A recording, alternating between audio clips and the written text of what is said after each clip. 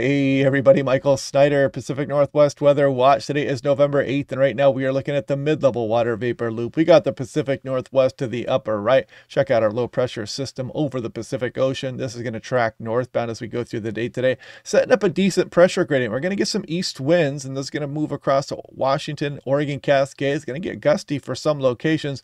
I'll show you the latest on that. Then we've got a system coming through later this weekend, and a stronger one next week. Looks to be ramping up, and we'll dive into the details on that as well. So take a look at where we are this morning. If I toggle back and forth, you see this activity here up and down Western Oregon, I-5 corridor down to the valleys all the way down into Southwest Oregon. That is fog up the I-5 corridor out towards the coast and Aberdeen as well. Olympia, some patchy fog across some of Western Washington, Strait to Juan de Fuca, and also for some of the valleys in Northeast Washington. And you can see all the way up into British Columbia as well, Idaho Panhandle and Western Montana. So do slow down if you run into some of that activity. And as you see the high clouds moving across the region, it, it, makes it more difficult to see what is going on underneath that. So mm, nice that we got a break there because we can't see where the fog is this morning. Now, also a reminder, the tides are still elevated here over the next few days, but we are going to be bringing those down as we go on in through this upcoming week. You can see the lofty heights of some of these king tides as we went through this weekend.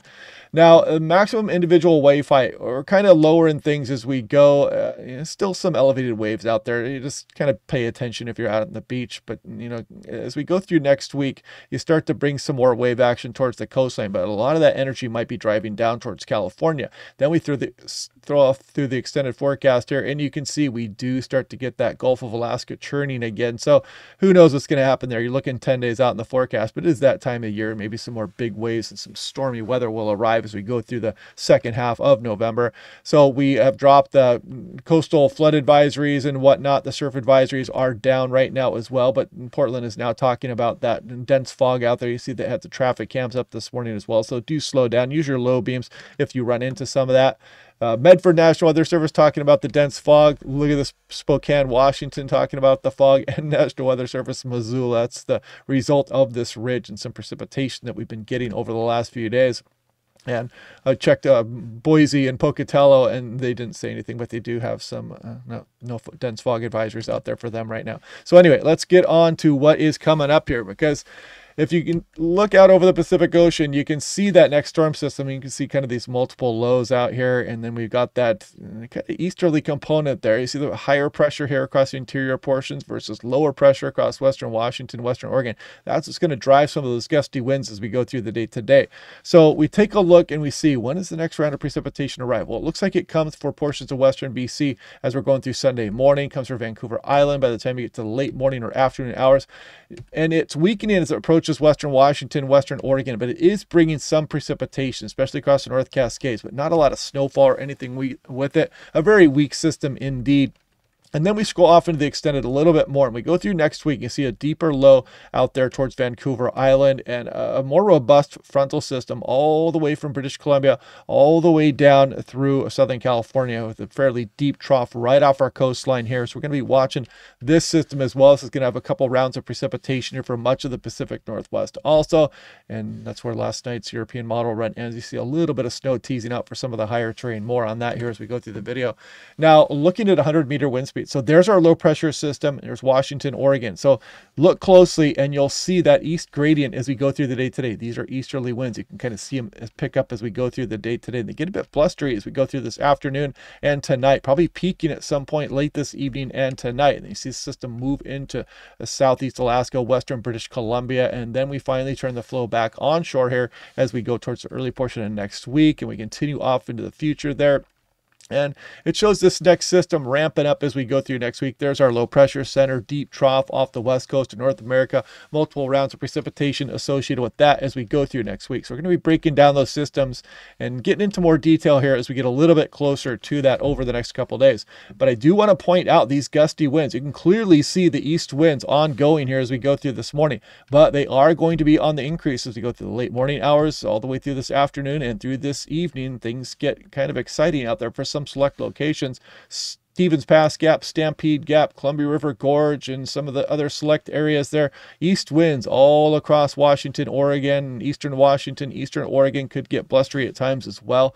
Kind of a unique direction out there. So watch out for some blowing dust maybe across eastern Washington, eastern Oregon, some of the farmlands. And we keep those gusty winds with us through uh, Sunday morning. But by the time we get to Sunday afternoon, we start to relax them a bit, although it is uh, still a little bit blustery out of the east as we go through Sunday evening.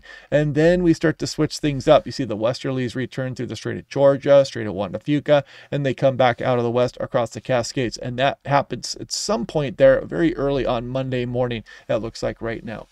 So if we look at accumulated 10 meter max wind gusts, again, if we scroll through tonight, I mean, you see some of these gusts up over 50, 55 miles per hour. So heads up if you're going back off into the foothills and the mm, gorge is bringing some of those east winds all the way out across the Portland metro. Some of these gusts well up into the 40 mile per hour range. And some of this gets out towards the coast also. So yeah, strong east winds coming up here as we go through this afternoon and tonight. Now, taking a look at a little bit of an extended forecast, there's that trough out over the Pacific Ocean, and there's Sunday night and Monday system, just the weakest of systems brushing us there. And then that deeper low, the deeper trough gets towards the coastline here as we go through next week. So you can kind of see that hanging out, a couple rounds of precipitation. Another system rolls through as we go all the way through the you know seven, eight, nine day, 10 day time period. And then this ridge wants to build here on the extended forecast. Mm, deep trough out here over and north of the Hawaiian Islands, out over over the Pacific Ocean. But again, this is way out there fantasy forecast. I wouldn't put too much stock into that just yet. It's probably going to be changing back and forth. And looking at 24 hour total snow. So the next chance of any kind of really uh, uh, significant snow probably as we go towards next week and the end of next week and next week. You can see some of that piling up, but I mean, it's not a lot and it's not really getting to the lower passes with that one. And then as we go through, you know, the 200 plus hour time frame here, you don't want to get too caught up in those details, but it does show some snow potential potential for some areas as we go through the second half of November. But again, we'll be getting closer to that. We'll pay attention as we get closer to that over the next few days for sure.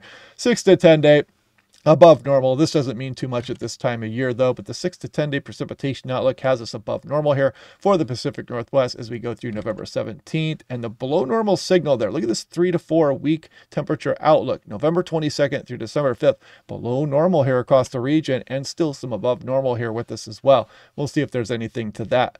I plan on doing another El Nino slash uh, La Nina or ENSO update here over the next couple of days as well. We'll take a look at the latest on some of the winter forecast also, and we'll look at some of the long range models and that probably here. I'll probably do that here at some point between now and early next week. I do have to work the next few days. Alaska Airlines. But yeah, check out the Patreon page if you like. If you want a nice affordable home weather station, click on the link down below to save 10% off.